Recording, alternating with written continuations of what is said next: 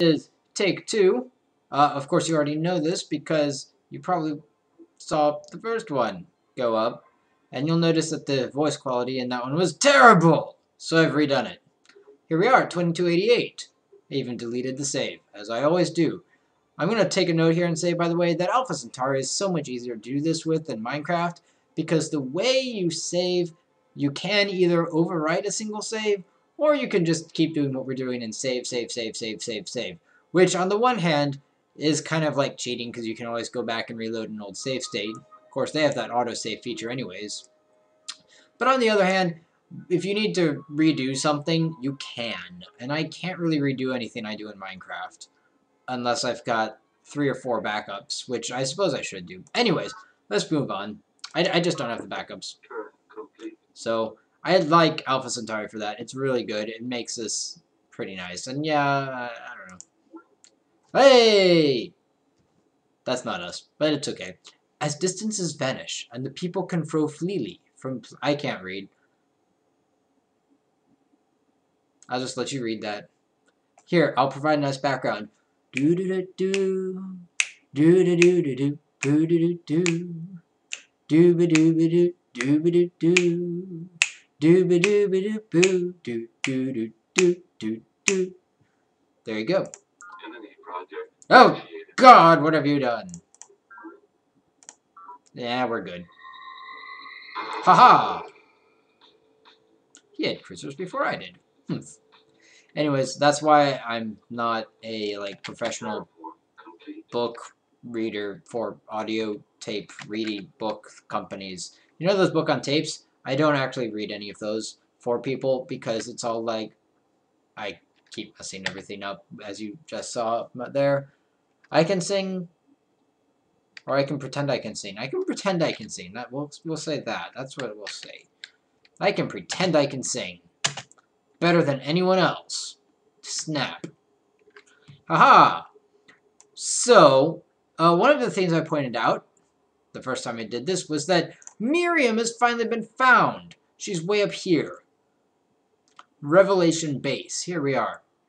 Um, her capital is New Jerusalem, so that's not her capital. But she's up here somewhere. Which is actually kind of convenient because we sent a bunch of our boats to go, like, here which means that they're not too far off from up there, although they are ways off, especially since they're tiny boats. Which reminds me, I need to make sure that I've... I think I took care of that already, but... I don't know. Did I? No, I didn't. You need to turn into one of those. Yeah, yeah.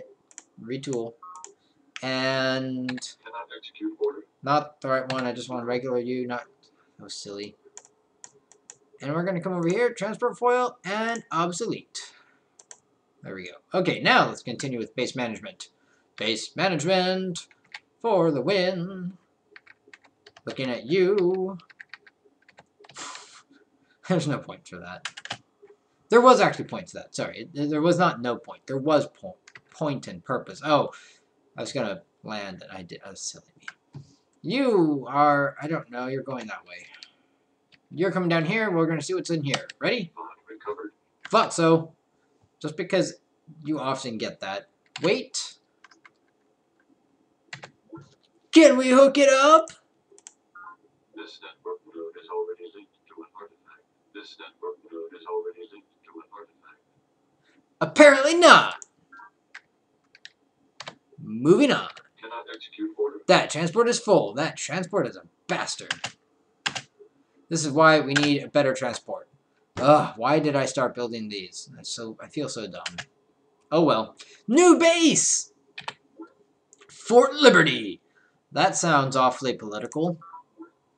Note, Alpha Centauri base names may or may not reflect any sort of real-world views that I or any other commenters hold. Wait, no, that's not the way it goes. Alpha Centauri base names do not reflect any views held by any by the commentator or any friends, family, or etc. of the commentator. Alpha Centauri base names are sole property of the people who made them and have no basis on real life stuff. Nonetheless, it is in keeping with the faction. Transplasma Sentinels and all the other things like the recycling tanks and the formers and the rec commons, and I don't know, see colony pod and a network. No, no wait, children's creche and then a network. Yeah, we're not perimeter def. Why not? Just throw it all in there. Just here, throw it all. Just take it. Build everything. Build every. Oh, and don't do that there. Yeah, it. it well, no. Hmm.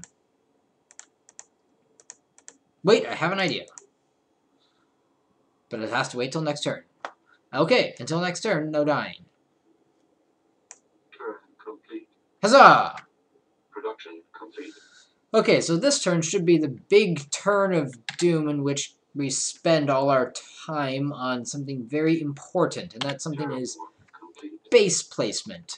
So here, what I'm going to do is I'm going to handle all this management really quick. Well, as quickly as you can handle base management in Alpha Centauri. Um, yeah. We're going to handle this base management, and then we're going to move on to that. La la la la, build a road, don't go anywhere, you can't get over there, but you should, because that's where I want you to go, so I will move you right here. You still don't have space, so you're just to wait. Uh, I guess you'll wait for another turn, and you're going to go, Unit max required ability. Arr! I was not paying attention. Okay, that's fine. Let's take you and go this way. Oh, he went fast. Hide yourself in there. You are going to stay put. You are going to... S I don't want to... I don't know if I want to stop producing you or not, man.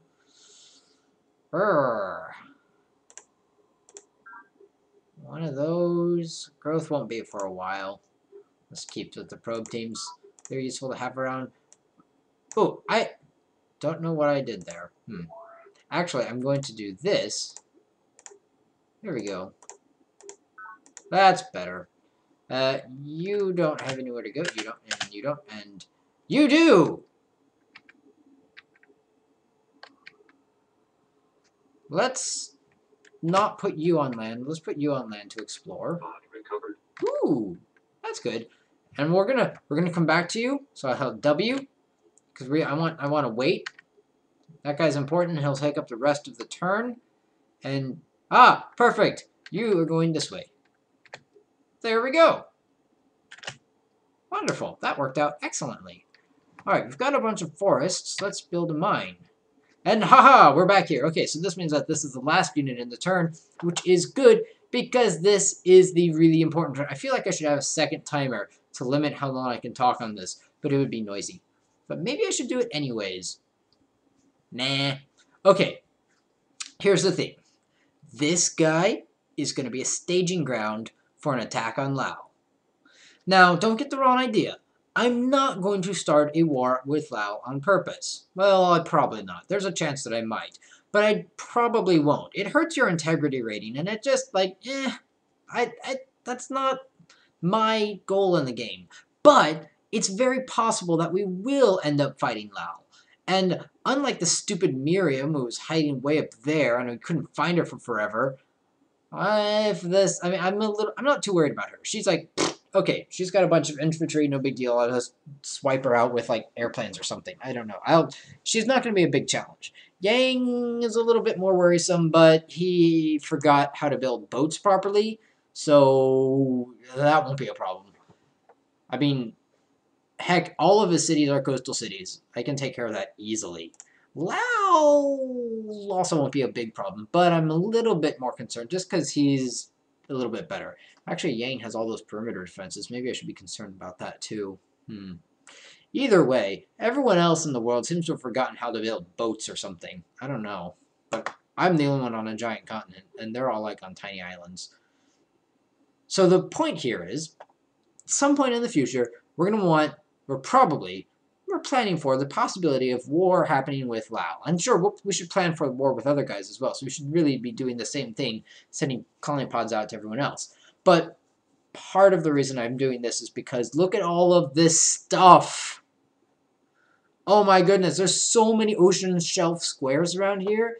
Like if I had some formers and I could just tweak things a little bit here and there and raise a couple more things, I could have like base and base and base and a, a base and a base and a base and a base. So many bases and then take that base just because it's a base and I could I don't know put a there isn't really a, that's not really a good spot. That's just a spot for a supply convoy. But anyways the point is there's a lot of really good stuff right here and he's not using it and I want it. Mine.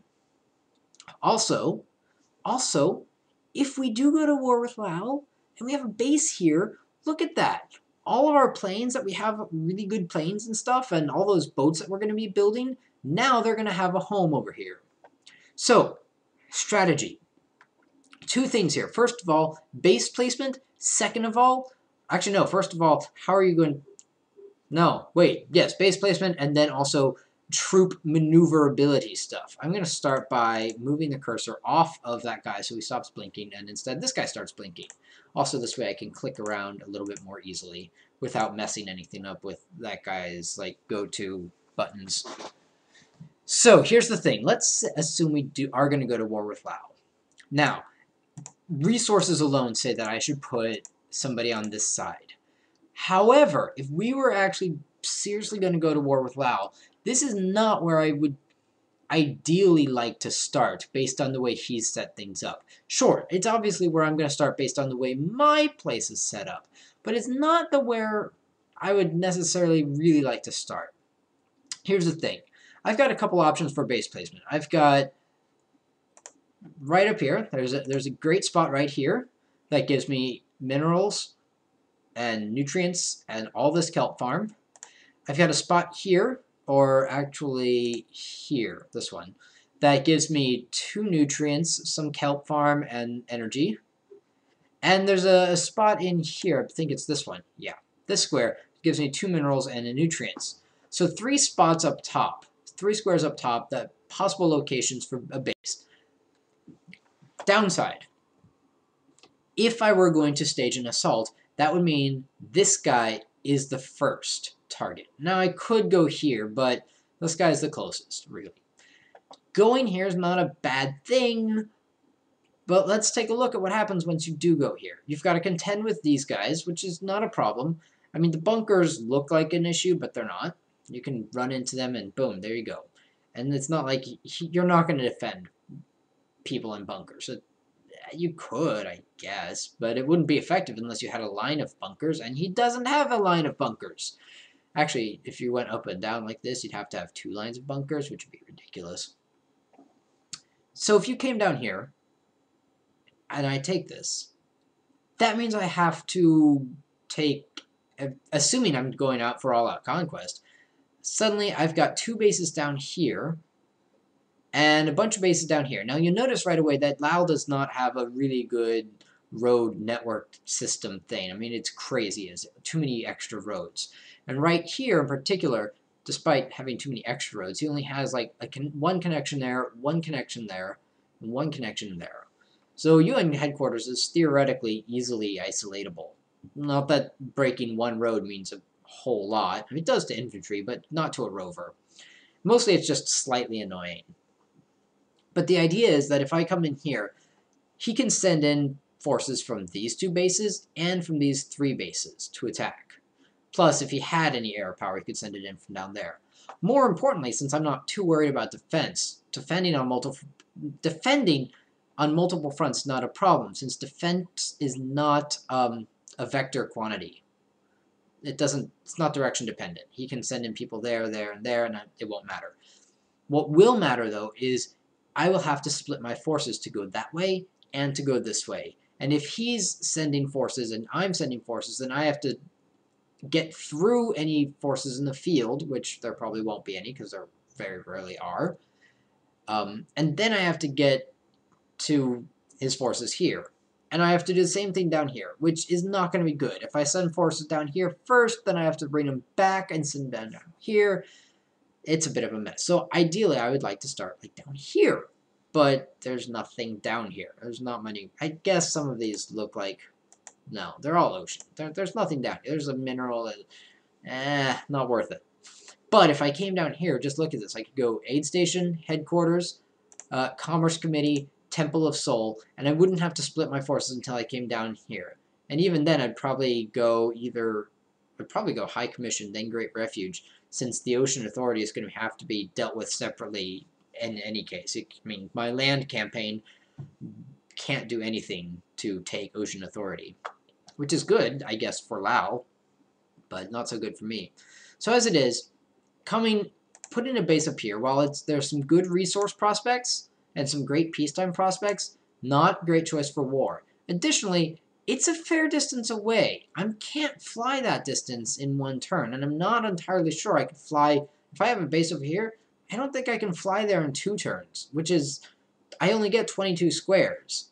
This base needs to be within 22 squares of this base.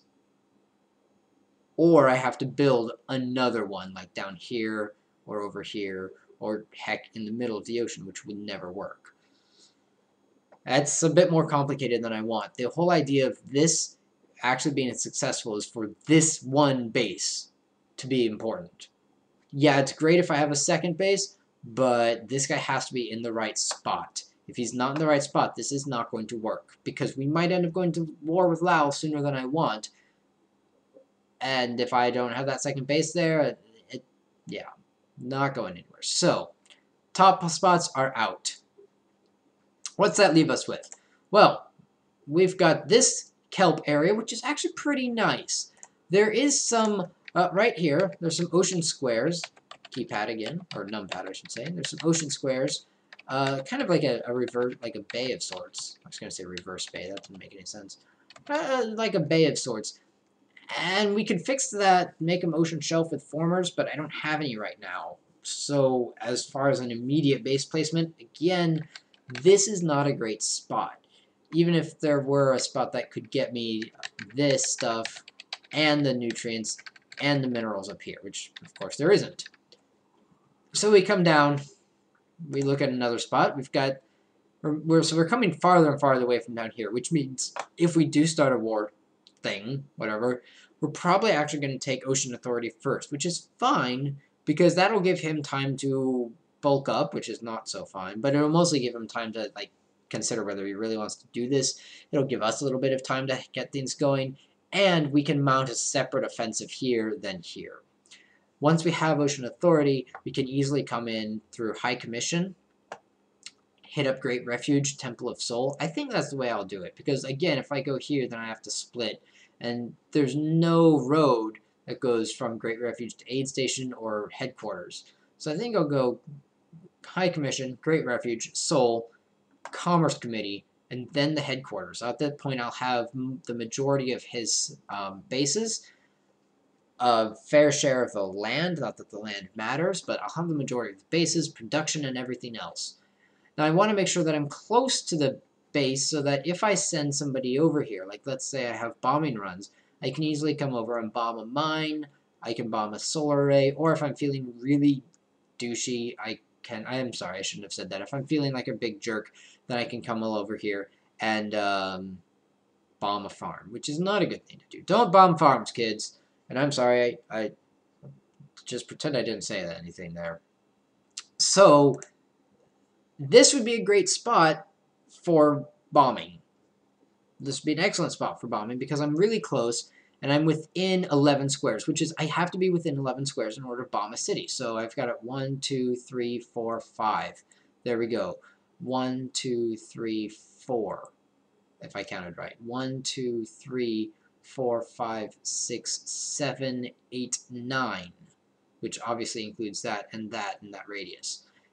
Do I have 1, 2, 3, 4, 5, 6, 7, 8. I can even get you in a headquarters. So a base here would be really cool because I can get everybody within the bombing radius.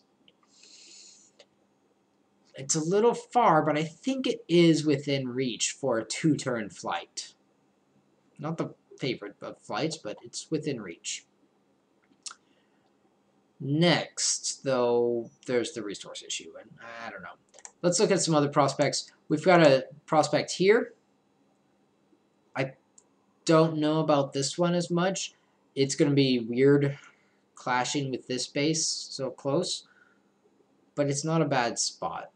And then there is a spot right here, which is a really cool spot. There's also a spot down here, but I don't. I'm not going to consider that. It's uh, far away, and this one's closer to that. This one, this one's closer to the rest of the base. This one's too far away from the base and doesn't get enough resources. So this guy is the next biggest spot.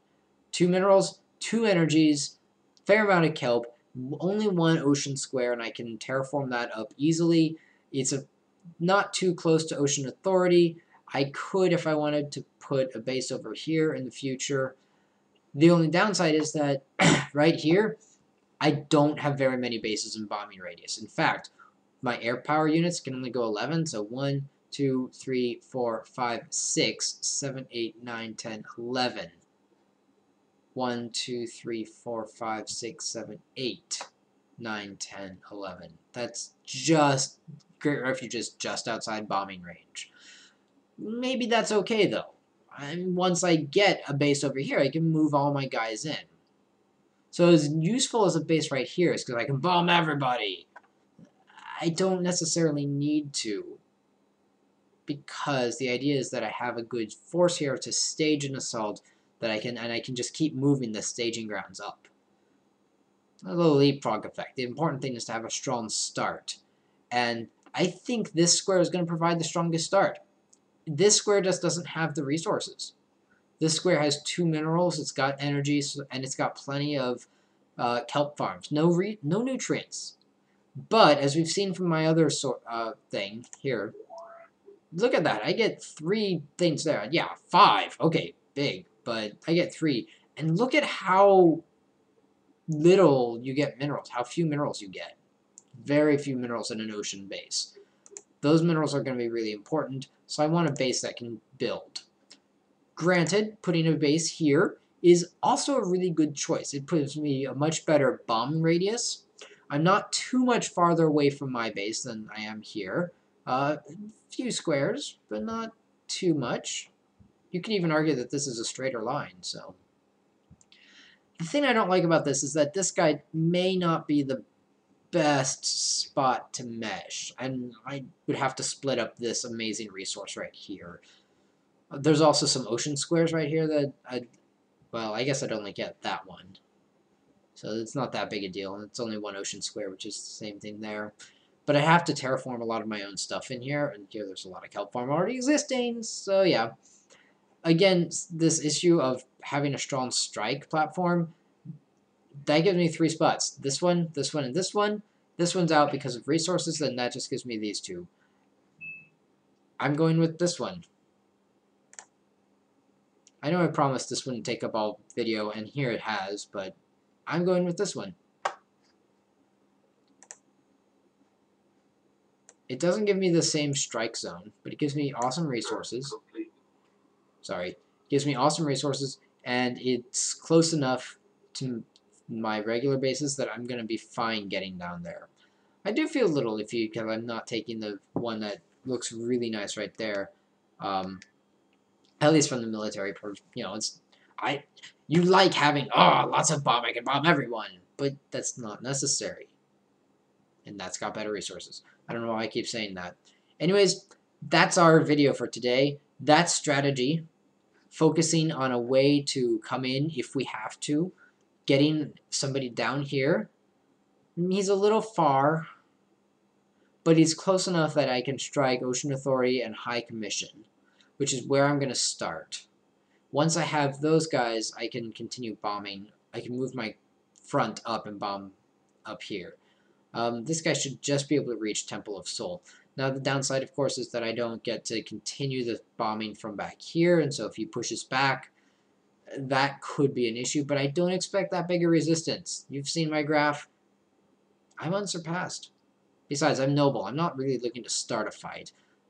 If this were a human player, this probably would start a fight. Computer player, mm, I don't know.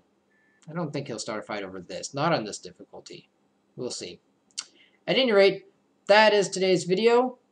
Um, base management and strategy. We're still doing research, neural grafting, which will give us the Bioenhancement Center, plus 2 morale on everything, and also the neural amplifier as a nice secret project. And it helps us get a little bit closer to copters, which are A little bit more versatile than planes. The Cyborg Factor, which is really nice, gives you a Bioenhancement Center everywhere. And most importantly, the drop pods, which are really cool too, although not necessarily right now. Point being that it's going to be nice, but it's a long way off. So, that's that. Um, I hope this video turned out much better than the last one. I know I spent a lot of time on the strategy again. Oh well. That's the, the name of the video is strategy. So, thanks for watching, and until next time, don't catch on fire.